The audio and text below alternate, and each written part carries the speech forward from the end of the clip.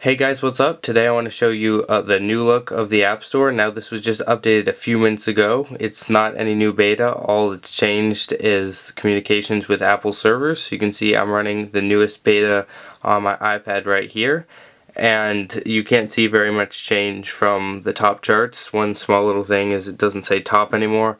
And if you see down here, it has the Genius button in the middle. So Apple's probably going to make that a prominent feature. As of now, when you hit Turn Genius on, for me at least, it says you have no recommendations, and I've downloaded hundreds of apps, so it's probably just not ready.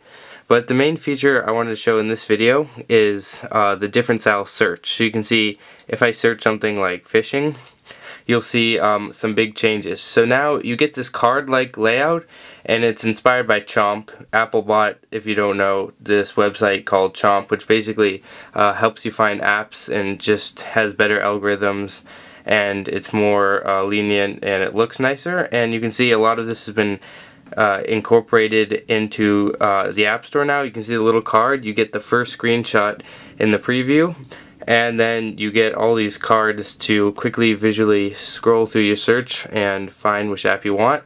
Something uh, sort of interesting to note is I have my iPhone running on 5.1.1 right now and I don't know, it's a little out of focus, but you can see the results are actually a little different. So they're probably using algorithms that they got from Chomp. So you can see right here, Flick Fishing Free isn't even in um, the top apps on here.